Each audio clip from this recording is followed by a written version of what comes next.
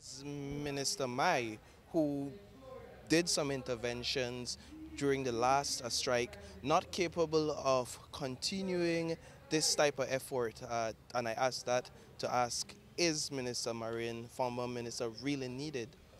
Um, absolutely, you, you could ask that question. Basically, it was Minister Mai and myself that we had to spend probably about three days in negotiations.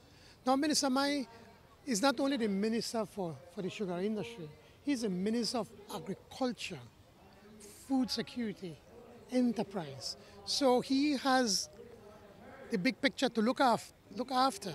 And right now, because of the tensions between the farmers and BSI ASR, um, he would not have the time to dedicate to that every single day.